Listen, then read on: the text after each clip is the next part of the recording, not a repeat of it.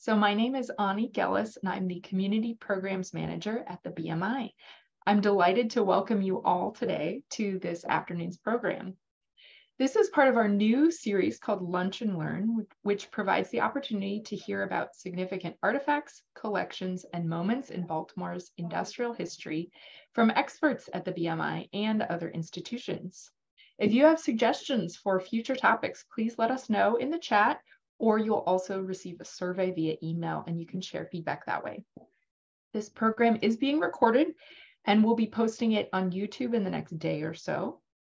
For those not familiar with the Baltimore Museum of Industry, we are located on the waterfront just south of Baltimore's Inner Harbor, and we're dedicated to telling the stories of workers and entrepreneurs who built Baltimore into a manufacturing powerhouse. One of the permanent exhibits in our food processing gallery currently shares information about the history of brewing in Baltimore. And we're looking to update this um, to focus more on the history of corner bars and consumption. We hope that this program, as well as the Community Collecting Day on Saturday, which Rachel will tell you more about, will connect locals with a family connection to bars in Baltimore to the museum. So for more information about that, I will drop a link in the chat to our archives manager, Maggie, and you can um, email her if you have questions or want to get involved. Programs like this are made possible thanks to the generous support of our members and donors. If you're currently a supporter, thank you. If you'd like to find out more about becoming a member, I will drop a link to the chat in the chat to our website, thebmi.org.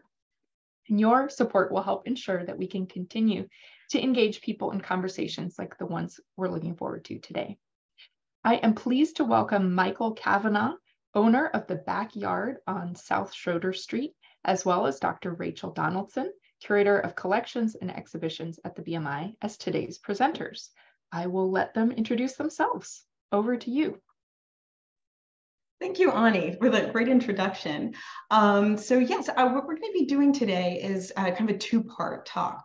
First, I'm going to get into the history, and then Michael is going to talk about his experiences as a, bar owner in today's Baltimore. So, what we're doing today is what we hope to be doing in the exhibition itself by connecting the past to the present.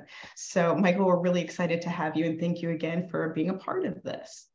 Um, Pleasure. Wonderful. Um, as Ani mentioned, uh, we are going to have a community collecting day. Um, the content of what we're going to be discussing, the role of neighborhood bars in Baltimore, is very much a Baltimore story, and it's your story. And we want your stories to inform our interpretation.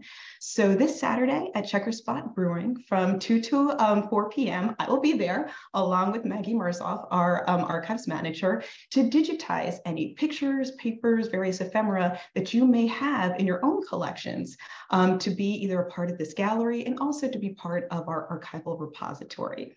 Um, so if you, if you have any questions about um, materials or you know what's going on with the gallery or just want to have a beer with us, come on down to Checkerspot again uh, this Saturday from, from 2 to 4. So um, this is again to kind of give you a little bit of a preview of what we're going to be discussing in this gallery um, and give you kind of the content of this. Um, as Ani mentioned, we're moving from just focusing on the production of alcohol to looking at the consumption, specifically the role that working class neighborhood bars played um, in community and culture, in, in developing community and culture in Baltimore. And the period of interpretation we're really focusing on is between 1870 and 1920. There's a clear end date, we end with prohibition. And that's because prohibition really does change the nature of bars as community centers, from the kind of the pre-prohibition era to the post-prohibition era. Um, the 1870s is a little bit more murky. We're starting there because this is kind of the, the rise of the second industrial revolution, um, where you have the establishment, I am so sorry, um, of my phone just went off, um, and it's still going, and I don't know how to turn this off. Um, I took my receiver off the hook, but apparently that's not working. It will end eventually. I apologize. Um, so yeah, so 1870 is because the second industrial revolution, when cities like Baltimore really took off. And so we're looking at the workers and their communities that they developed during this time period. This time period is also referred to as the saloon period. Um, so I'll be using the term bar and saloon interchangeably. But most importantly, this was a period when bars were known as working men's clubs. And that's not just a term that historians place on bars. It's actually something that during the time period, they referred to as working men's clubs or the poor men's club. So that's what we really want to unpack. What did it mean for these sites to be working men's clubs? And just a kind of a note about this too, it's not a misnomer to call them working men's clubs instead of just workers' clubs, because these bars were overwhelmingly, though not exclusively, male spaces. So we're going to talk about what did it mean for these spaces to develop? What did these mean for developing and reinforcing notions of working class masculinity? Um, so these are kind of all of the issues that we want to touch upon today um, and through the exhibition itself. So let's get started. What did it mean to be a working men's club? Well, bars served many functions.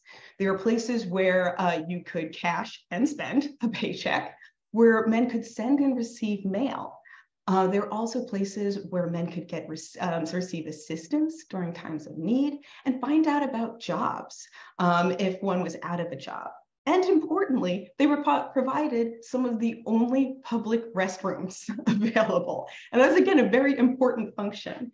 But the most important function they served, and proponents and opponents of saloons recognize this, was that they served a social function. These were social centers for the men, men who patronized them. In fact, saloons were known or basically embodied the concept of the third place. And the third place is a sociological concept, kind of made famous by the sociologist Ray Oldenburg. And the idea is that in your adult life, there are three spaces that really dominate. The first is your domestic space, your home. The second is your place of work. And the third are community sites or places that are really important for community cohesion. These could be places like barbershops, beauty salons, and of course, bars. Um, at third places, they're not exactly, you, you would have a network of people, a community, a community of people that you wouldn't necessarily invite to your home and wouldn't necessarily see at work, but you expect to see there. and so these, again, are really important places for uh, community development and for community cohesion. And so the kind of leisure, the kind of recreation that saloons provided was very communal in nature. You didn't go there for solitary drinking. You went there to see people, and they and everything was kind of designed for that. Um, where they would have things like billiard tables or pool tables, card tables, things that again fostered more of a communal activity. According to a report on saloons in 1893, these are some of the principal attractions they listed as Baltimore Saloons as having. One, baseball and other sporting news. Uh, they also had newspapers, both daily and weekly, music boxes, um, excuse me, occasionally dancing and singing, gramophones, moving pictures, tables and chairs. The free lunch was abundant and gambling was, quote, not at all uncommon. Um, and this was the report was actually done by an anti-saloon league. So it were the temperance advocates who were trying to be like, okay, what are saloons providing uh, that week so we can understand them in order to counteract them. So it's actually because of the uh, uh, activism of temperance advocates that we have a strong historical understanding of the activities that took place in these places. And there were a lot of saloons. Um, two areas of the city where saloons dominated the social life for working men were, according to this report, the southeast end of the city, lying along and east of Broadway, and the and south of Baltimore Street. The other thing that saloons had that also you know, made them accessible was they had really convenient hours. In most cities, they opened at seven or eight in the morning and were open until 1 a.m. Um, so men working a variety of shifts would be able to access them at, at various points. Now, during the saloon period, working class bars catered to a regular crowd. This was not an era of bar hopping. In fact, it was usually per saloon the same group of around 50 or 60 men who would keep it in, in business. So if any of you are thinking of the Cheers theme song, you would be right, because that is very characteristic of what these places were. They were places where everybody knew everybody's name. exactly. This is kind of fostering the sense of becoming a regular and again, these, these strong network ties. So there were some distinctions between bars. I'm going to talk a lot about the commonalities, but first I want to get into the different clientele. Um, you have, of course, saloons across the city, uh, but they are catering to different ethnic groups. There is a strong tie-in between the saloon period and the rise of immigration. And so you have saloons catering to specific ethnic groups you didn't necessarily have saloon owners from that ethnic group, but if you had a saloon, if you owned a saloon and you were, say, German and you had a saloon in an um, Irish neighborhood, you made sure that you had an Irish bartender. So whoever was kind of facing, front facing with the public, usually had to be of that ethnic group. And the immigrants who patronized saloons, of course, did so for a variety of reasons. But one of the key things was because these were safe spaces during a time, excuse me, when immigrants faced a lot of hostility. Of course, you have rampant nativism of anti-immigrant um, activists and, and pro-immigrant restriction people um, who were trying to stop the flow of immigrants coming into industrial cities. These would culminate in a series of quota acts that specifically targeted immigrants from Southern and Eastern Europe. Um, this, the culmination of this was the National Origins Act of 1924 um, that severely restricted the number of immigrants coming in. Um, so in the face of this hostility, immigrants carved out saloons as their own safe spaces. They were places where they could speak in their native tongue. They could, you know, converse with fellow countrymen. And they were places that were familiar.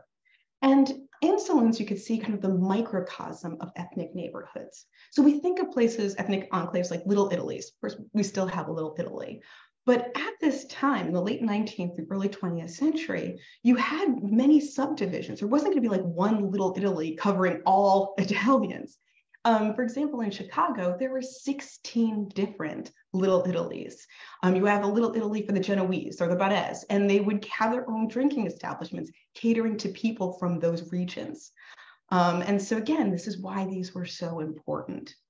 And the kind of other thing to remember about saloons is they're really culturally conservative. Things did not change.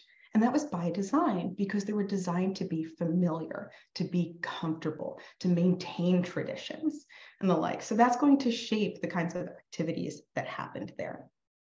But saloons weren't just divided by ethnic group. You could also have saloons that cater to particular occupations. You, there were some bars called, like for instance, the Mechanics Exchange or the Milkman's Exchange. Um, and those, of course, cater to people of the you know, working group. So this, of course, was important for um, you know people trying to find jobs. So if you're a mechanic out of you know at a job, you'd go to your mechanics exchange and see if there was work available.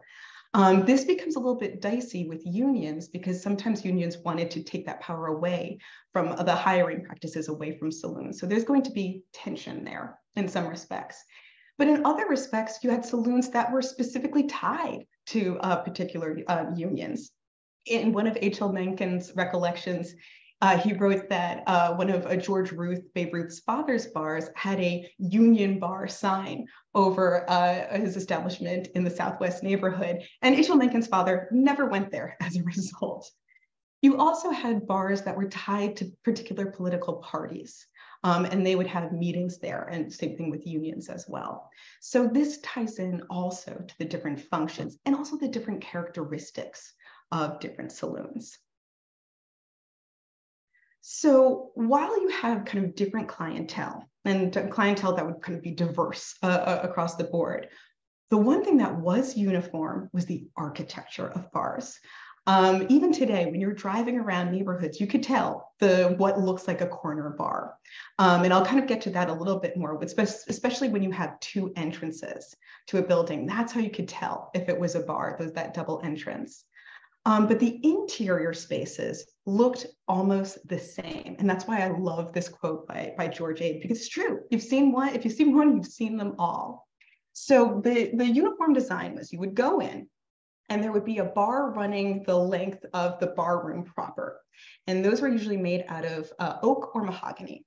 And on the other side, if there was room, you would have tables and chairs. But overwhelmingly, these were stand-up bars where you go, you have the brass rail, rail kind of step up and order your drink. You wouldn't have bar stools. Um, the only kind of seating would be at tables and chairs if they were offered. So you have the entire bar running the length. Um, and then behind it was a narrow walkway where you could see in this picture um, George Ruth and uh, Babe Ruth in the center. And that was again the domain of the bartender.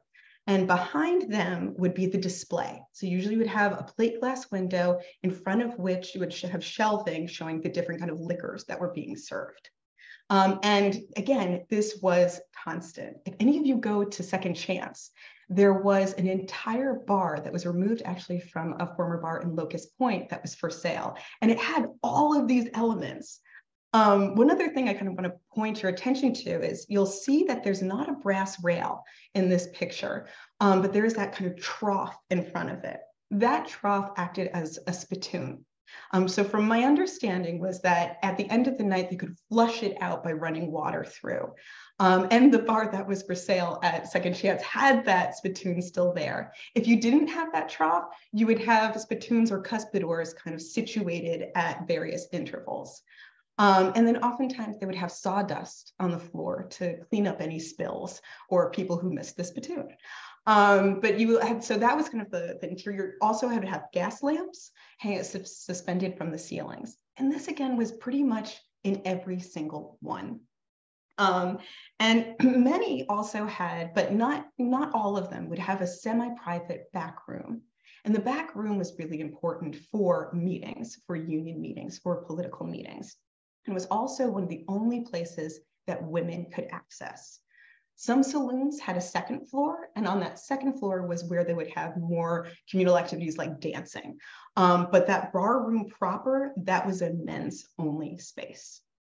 Um, so another thing we have to think about is, again, with all of the, the number of, of saloons everywhere, what made this possible? Yes, you have the patronage of the same 50 or 60 men, but are they really keeping in business?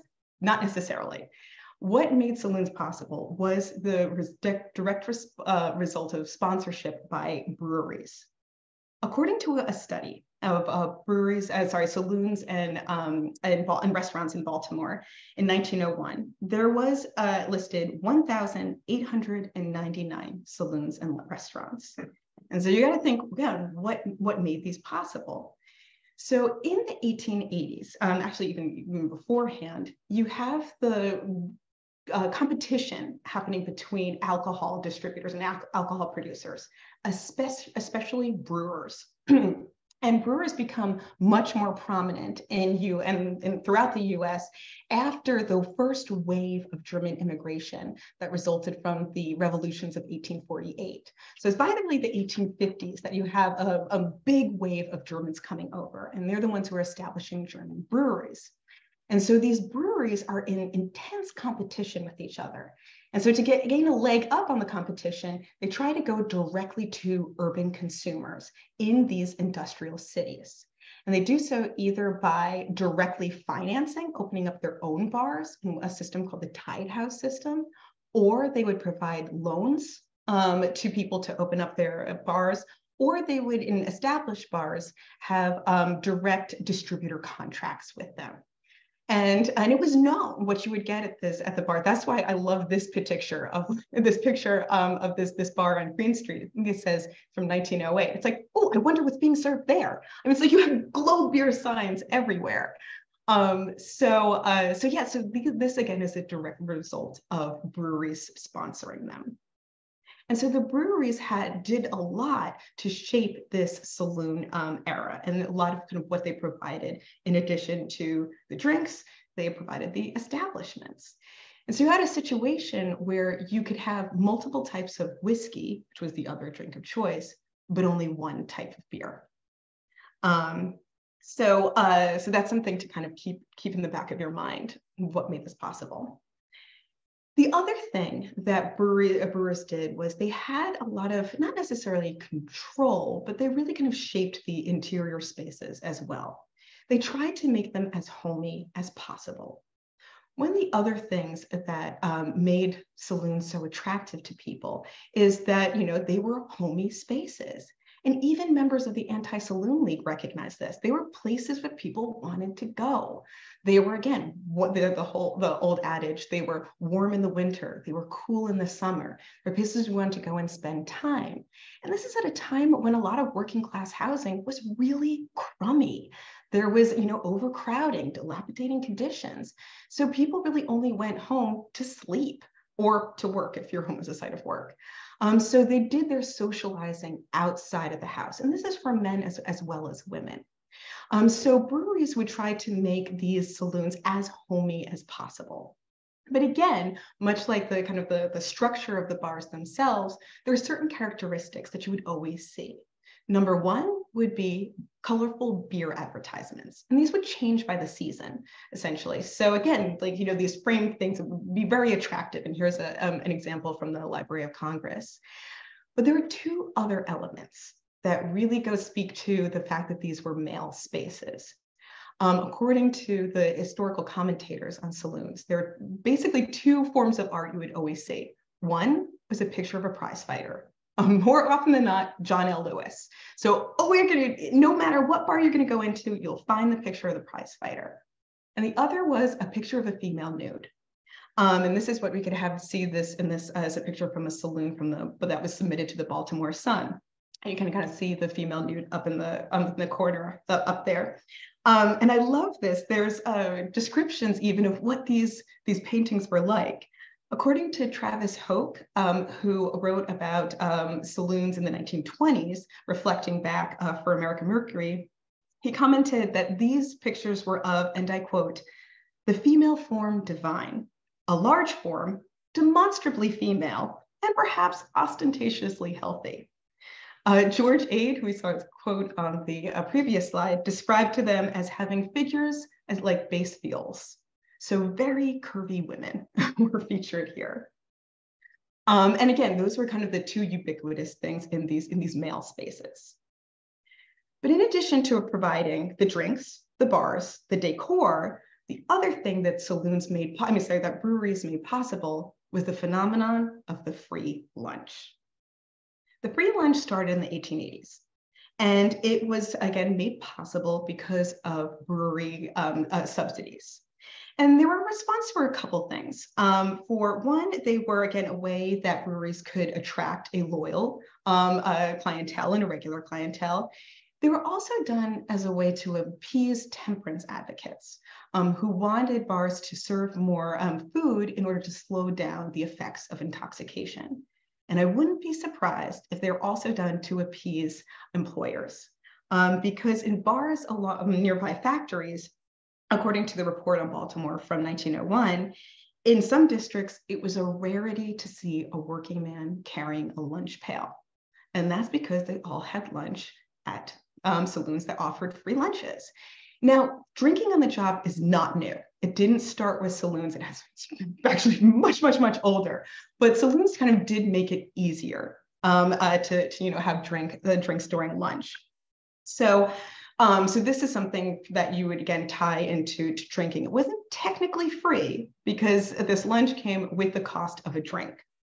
Um, this is in time where you also had women being able to access certain bars because the free lunch was accessible to working men and working women as well.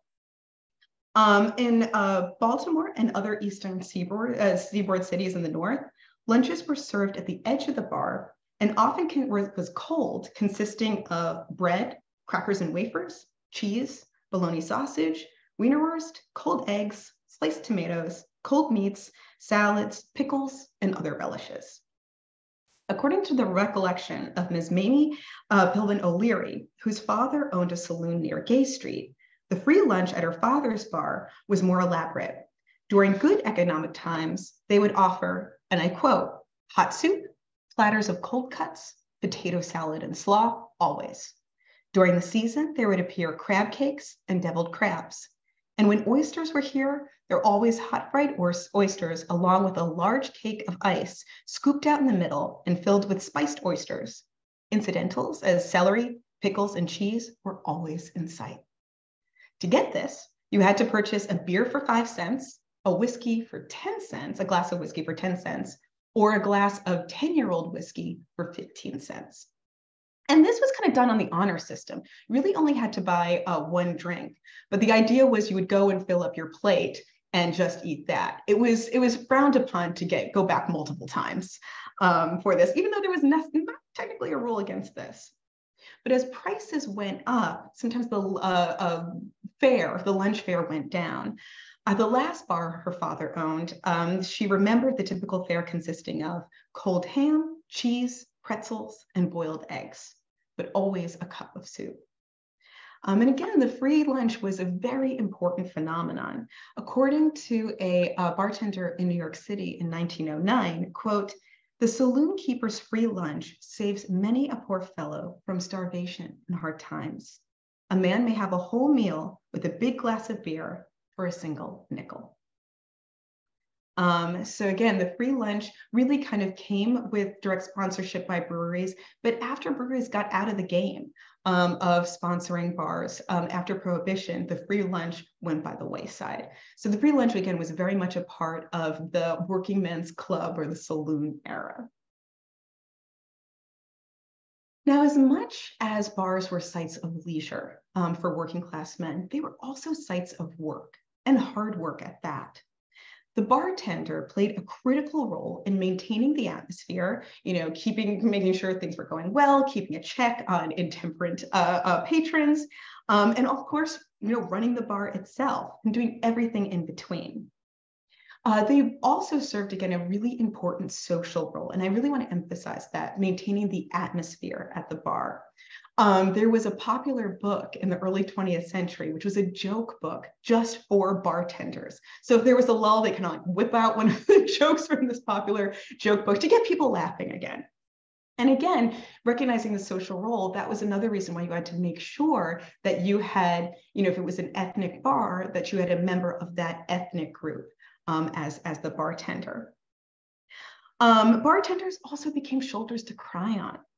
Uh, this is according to a former saloon keeper, again in New York City in 1909, and I quote, there is a sort of familiar affectionate feeling for the saloon keeper among these people.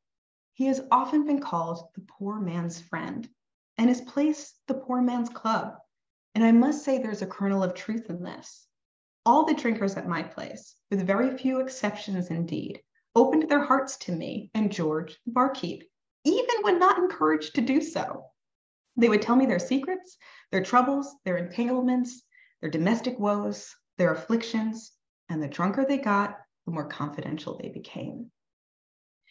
But again, as workers, bartenders had similar grievances to other workers in the industrial, I mean, second industrialized industrial era, actually all from the industrial revolution on up. And that was one of the main grievances were long hours. It wasn't uncommon for bartenders to work anywhere from 14 to 16 hours in a shift. So they did what other workers of this era did, and they formed unions. In Baltimore, the Bartenders International League, Local 532, formed on January 25, 1903, at Frank Souders Restaurant on East Fayette Street near Holliday Street. And this was affiliated with the AFL. In six months' time, it grew to 384 members. Prior to this, there was the Bartenders Union, which was affiliated with the German Trade Union, but that began in 1886. And the Bartenders Union was more politically radical. Um, uh, it was affiliated with the, the Socialist Party. Um, so, but again, this ties the thing to remember, and this is something to keep in mind for any site of leisure that is also a site of work um, for, for people who operate it. The last thing I want to get into in kind of our brief historical overview is the connection to women. So as I said, these working men's clubs were overwhelmingly, but not exclusively women, unless they had a policy of not permitting women. So for instance, McSorley's um, in New York City uh, would not allow women in. Um, so that was, so you did have individual bars who specifically would not allow women in, but kind of across the board, particularly if they had a free lunch, bars often did allow women in, but only during those times. So the space that women were able to occupy was that back room. And that's why if a bar did not have a back room, odds are it would not allow women. Um, the women would enter through a side entrance known as a ladies' entrance or a family entrance. And this way they could go in, get the free lunch that was at the edge of the bar and go straight to the back room. They did not have to traverse the male space of the bar room proper.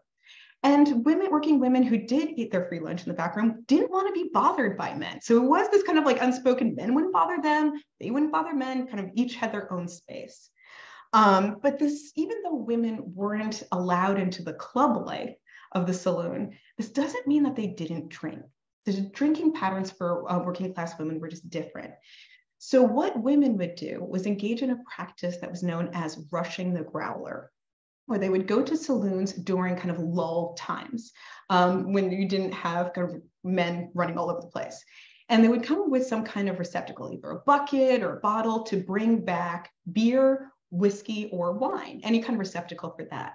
And there they would get this, uh, you know, get their drinks and either drink in their home or more commonly would drink on, um, uh, you know, the stoops of their buildings um, or in back courtyards where they could socialize with neighborhood women um, and keep a watch on street life and children. Um, so again, it's not that women didn't drink, they just, they're just drinking, their social drinking happened differently. Again, still not in the home itself, um, but home adjacent. So just as kind of a conclusion, um, the era of the urban saloon really emerged with the period, again, the second industrial revolution the 1870s, um, when immigrants and migrants flocked to um, cities looking for jobs. One thing I didn't mention, and you'll kind of made a note of this, is that there's very much a strong tie to the story of immigration. Um, drinking establishments were, of course, important for African American workers as well, but the history of African American bars follows a different trajectory.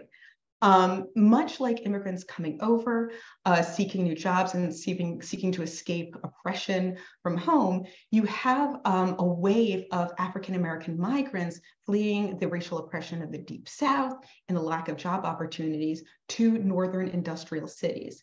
The, the wave is referred to as the Great Migration. And this really begins in 1916 um, and continues up through the mid 20th century.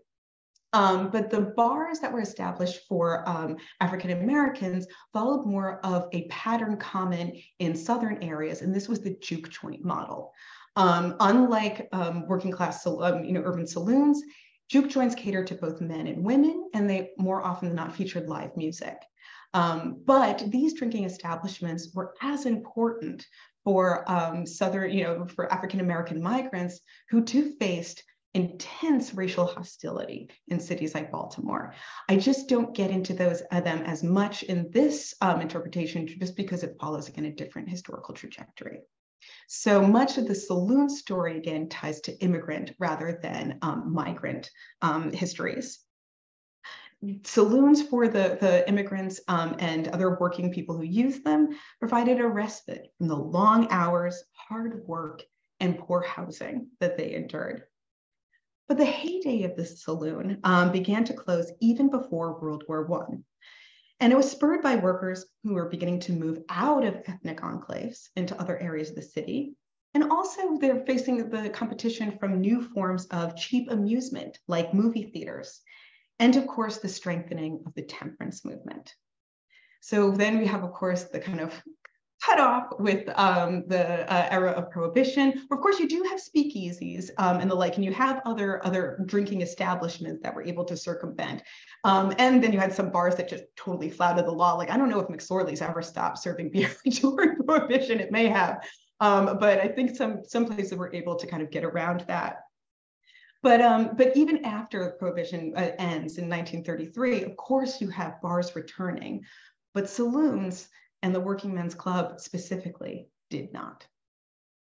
So with that, that kind of concludes again our, our overview of the, the historical aspects of saloons. And now I want to turn it to moving from the past to getting into the present. And I'm going to stop uh, the share so that we can talk to Michael Cavanagh of the backyard. And again, Michael, thank you so much for joining us. And we have your beautiful bar in the background. so again, great backdrop.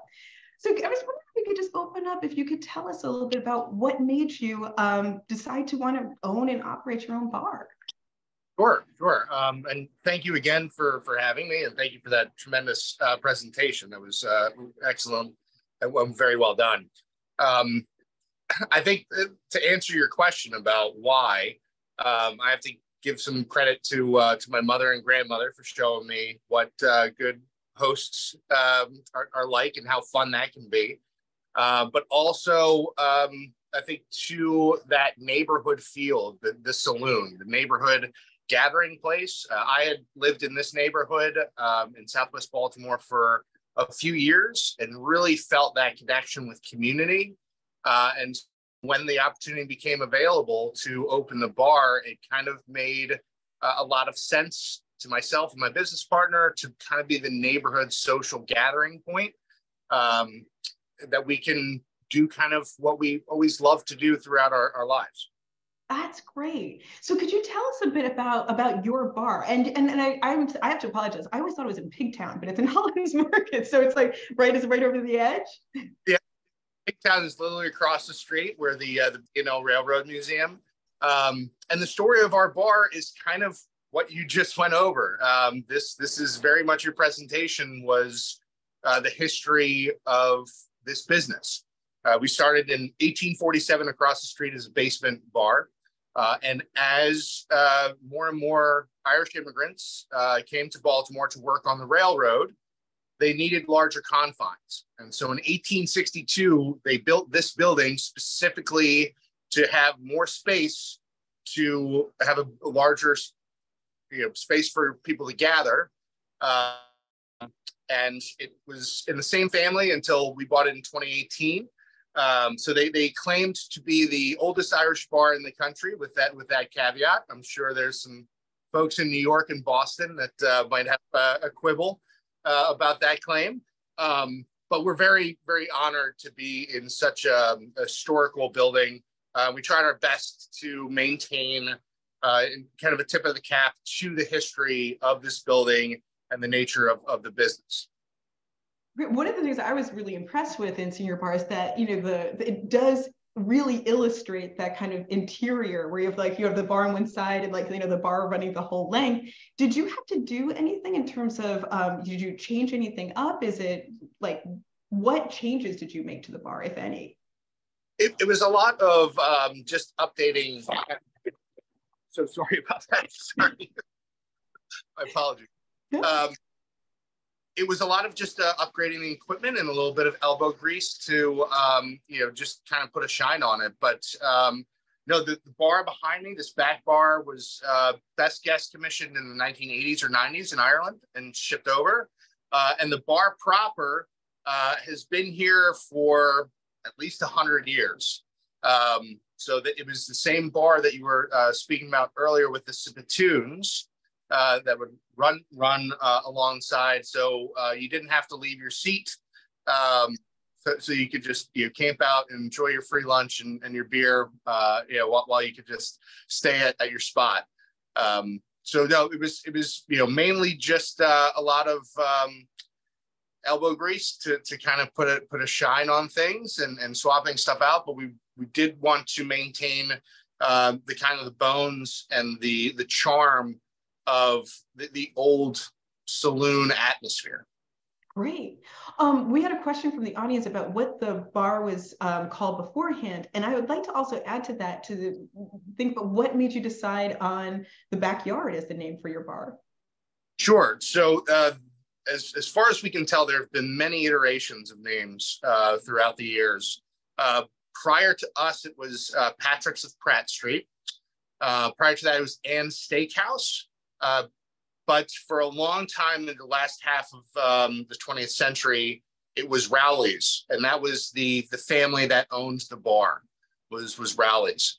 Um, the backyard came to be as um, kind of trying to embrace the idea of being a neighborhood bar, being in your backyard, being comfortable, uh, being amongst friends and family, um, and then plus tying into the yard kind of feel. There's the rail yard across the street. There's Camden Yards less than a mile away. Uh, so kind of trying to embrace that feel uh, was was how we landed on the name. That's great.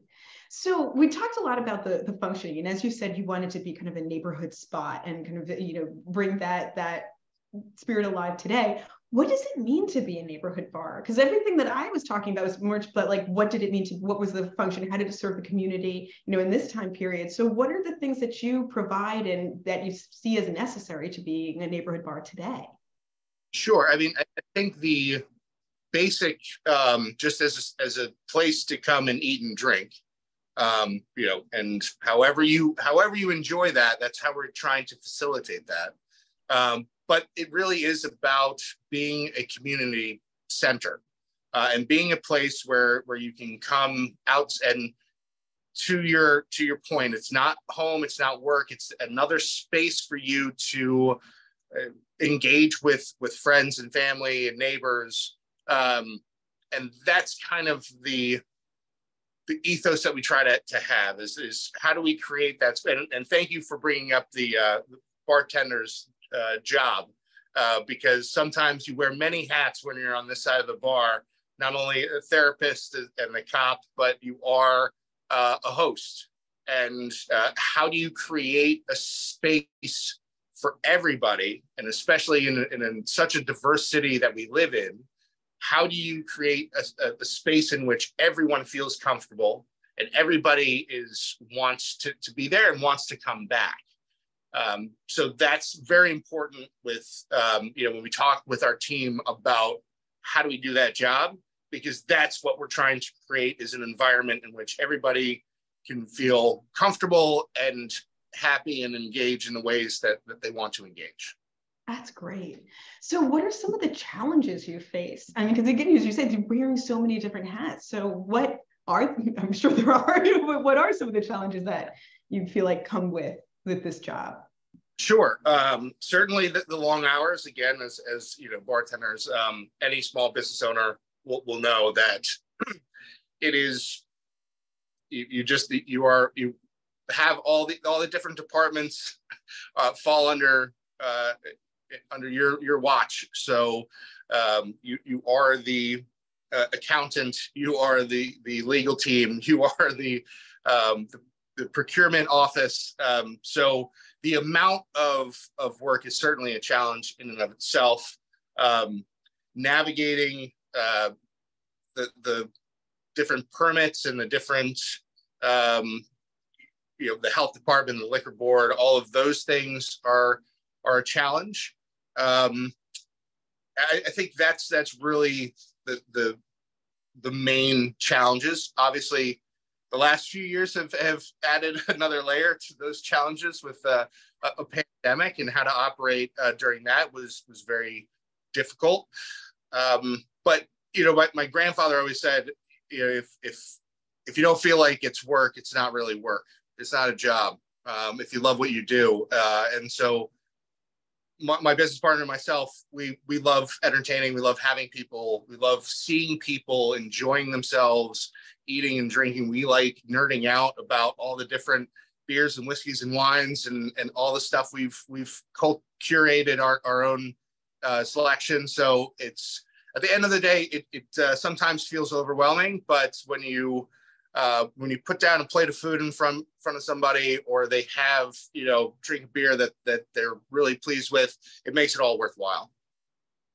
Wonderful. So before we get into the Q&A, um, and um, Ani, I was wondering if you could help with um, any uh, uh, anything from the chat um, that stands out, because I actually, uh, maybe I can access it. But before we get into that, do you have any stories um, that you would like to share with us? Anything that stands sure. out, any experience?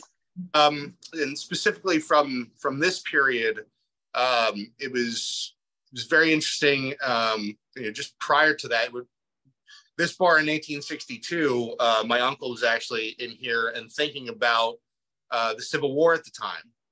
Um, and the railroad from the north didn't connect to the railroad from across our street. And Baltimore, um, famously being, you know, this this interesting brackish water between uh, north and, and south during the Civil War, there was a lot of Southern sympathizers. And um, as the troops would come down on President Street, they would have to walk across the, the city to get to the B&O to take it south to Antietam or, or wherever. Um, and famously, there was there was a riot that happened uh, where there was a clash between Southern sympathizers and Union soldiers. that were coming walking down Pratt Street to get on the train, uh, and and shots were actually fired. Um, so it, it's a very interesting kind of place to be. Also, to think about that this bar could have been the last beer that a soldier had before he got on train to go go fight uh, in Virginia or elsewhere, and it also might have been the first beer that that they got when they came back. Um, so the, the if these walls could talk, the stories that they would tell. Um, the other um, story that I like to tell is um, that's actually the prohibition, how this bar survived through through prohibition, uh, was that they became a laundromat. And, and so uh, the workers from the railroad would come with their bag of laundry and drop the laundry in the front and then go wait for it to be done in the back, where who knows what what happened in the back, but um, they they turned themselves in, into a laundromat, which is uh, which is pretty fun. Wow, that's that's what I'd love to get more stories of how bars survived prohibition with creative means like that. Well, that's great. Well, thank you so much. I wanted to kind of shift a bit to some of the, the Q&A in the few minutes that we have left. Um, and so I see that there's some, I'm actually now able to access the chat. Um, there was a question about free lunches consistent at bars um, uh, countrywide or just within cities or smaller towns as well. That's a really good question. Now, the thing about um, studying history is that you're limited by your sources to a degree. So the his, uh, history and historiography, which is kind of how historians have studied a particular topic of um, bars, it's, it's fairly recent, um, and it really does focus more on the urban context.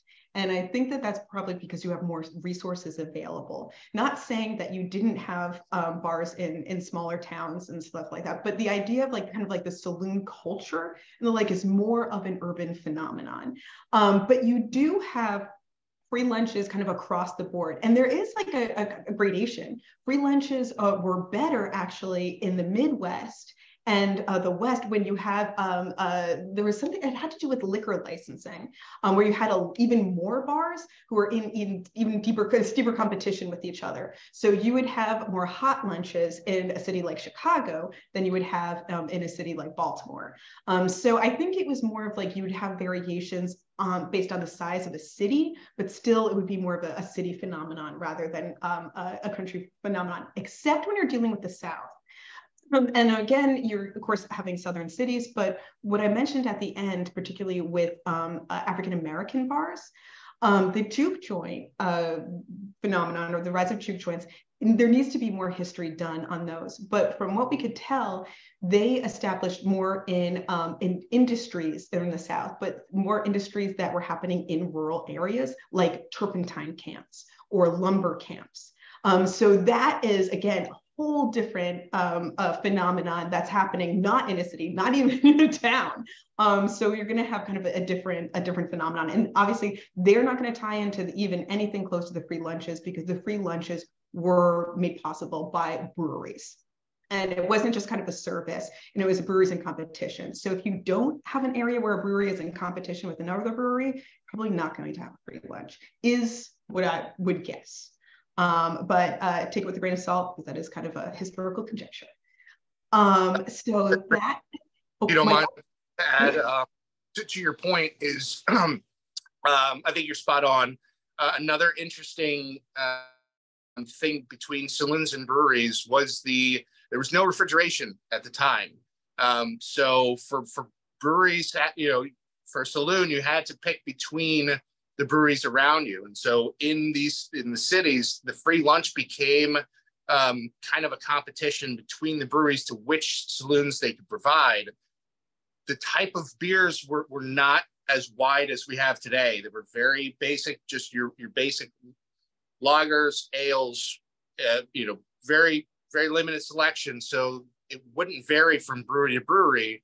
So the free lunch was also a way for the breweries to compete with one another to see which saloons they could get into. And with the amount in Baltimore, there was a, a lot of, you know, a lot of avenues for breweries to, to go to.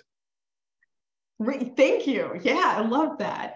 Um, and uh, another question that came up was, uh, does the BMI have a plan to have a permanent exhibit on Baltimore brewing history? And we actually had an exhibit on brewing history that we're changing now to the, the corner bar. So um, we don't have something that'll be brew, like the story of brewing specific um, in terms of our, our permanent galleries, but that story will get incorporated into um, the redesign, uh, the extent of which is still being determined. Um, but that's we'll also need to have more, we can have more programming on breweries too. Um, our next community collecting day is at a brewery. Oh, and the other thing that I, I think is interesting, thinking about uh, community spaces as well, is breweries having their own tap rooms. Like Michael, do you actually do you have any thoughts on that? Like, has that affected you know the you know bars themselves? Uh, what's the relationship you have with with breweries?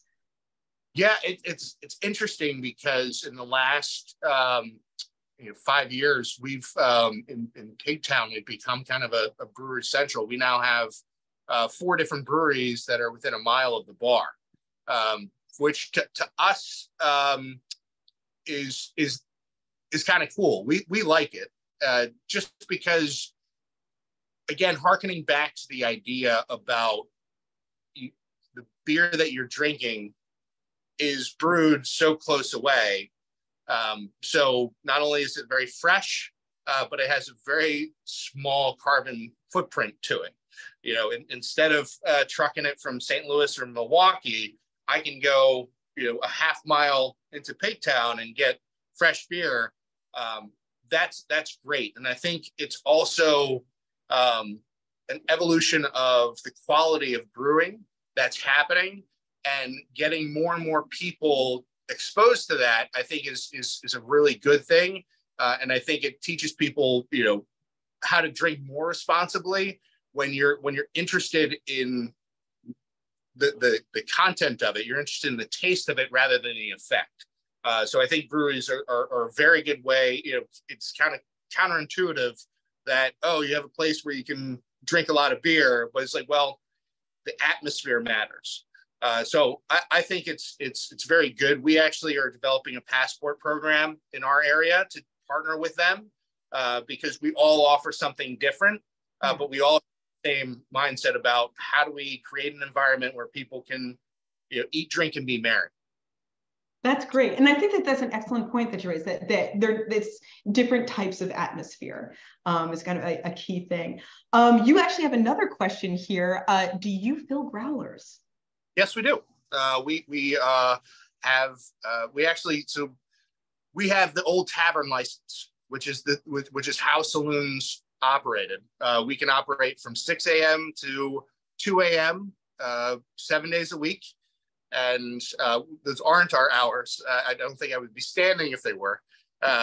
but we, we do we can sell on premise and we can also sell to go. So we not only do growlers, but uh, bottles of wine, bottles and cans of beer are half off the menu price. So we very much enjoy that. Um, also, speaking about our, our draft list with, with our growlers, uh, we have a three hour rule uh, for our drafts that uh, the brewery needs to be within a three hour drive, no traffic, uh, to, for, for us to put it on, on draft. So, kind of supporting that local regional idea and trying to, you know, kind of reduce our carbon footprint in that regard. Great, great, thanks. So I'm uh, one other, I'm trying to go through the, there is a question, um, but I'm not seeing it in the chat. Um, so I am sorry to Margaret um, that I cannot find your questions. Um, but, uh, oh, Ani, do you have that? Yes, let me, uh, so Margaret had quite a few questions. So how about we talk a little bit about um, temperance or the relation between temperance and prohibition.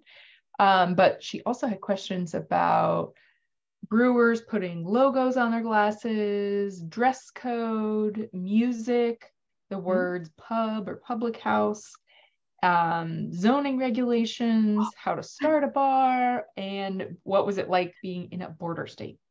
Wow, Margaret, those are great questions. and I wish we had more time. Um, one thing, I guess, uh, what really quickly that I'd like to get into is the, the, temperance movement.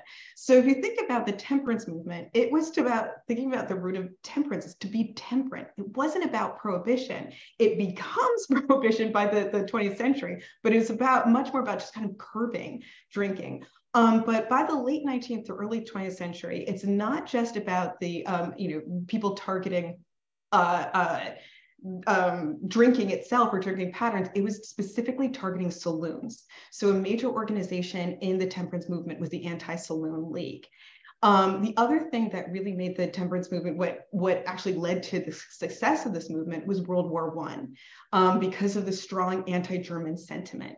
Because the, the temperance movement in the 19th century focused more on spirits um, rather than beer. But because of the connection between the German connection to breweries um, and, and beer brewing, it turned more towards beer, um, and, and, Germans became the target with the anti-German propaganda of World War One. Um, so between the anti-saloon league and the anti-German propaganda targeting breweries, these two things really coalesced into leading to the Volstead Act and then of course uh, prohibition as well. Um, but um, but so that's kind of like a very quick and dirty like what, what was going on with the, the temperance movement. Um, and uh, I hope I hope that that answers answers that question. Um, and then there was something about I guess there was a question about a dress code. I don't know if it's then or there, um, but uh, but yeah, I hope that hopefully that answers them. And, you know, again, if you have any other questions, you know, Michael is knowledgeable to go to the backyard, which I highly recommend. It is an excellent bar. Um, and so I just want to, to thank you again for, for being a part of this and being such, you know, a, a community center um, yet again. Oh, oh, wait a minute. Sorry, we do have a couple minutes and I now see your questions. I do want to say something about music. Um, because there are studies that are done on what types of songs were really popular um, that not, not were being performed, but that men would sing to each other and the, the topics. And the number one song, there the number one type of song, I guess genre, was songs about mothers. So you would get these really maudlin songs about drunk, you know, drunken men singing to each other about mothers, um, and uh, that was a popular thing. Oh, one other thing too about the the temperance movement, quickly, is that with these places being like community centers, yes, intoxication was a thing. You know, we're not going to deny that. But intoxication wasn't necessarily getting going and getting drunk wasn't really the purpose. It was going and being social and being with that network of people that you would get at, at your third space. So one of the uh, temperance movements, uh, you know, or prohibitionists' main um, propaganda tools was like the picture of like the girl, you know, the little daughter trying to drag her drunken father off the bar stool. and that was not terribly common. Um, it was, it, again, it was a form of propaganda because mostly men were there to hang out with other men. Um, Michael, did you, I see you laughing. Do you want to add anything to that? Yeah, it's, it, that is um, funny. Just, and the other thing about the temperance movement uh, to, to realize was that that alcohol consumption in in our country at the time was significantly high, um, and and that's there's another reason why the temperance movement was um, to, also to your point about how you know they coalesced, but they're you know the, the average per person uh, consumption in the in the late 1800s was very high. Um, and so that's also you know, why the temperance movement started and, and to your points rachel how, why it, how it succeeded in arriving at prohibition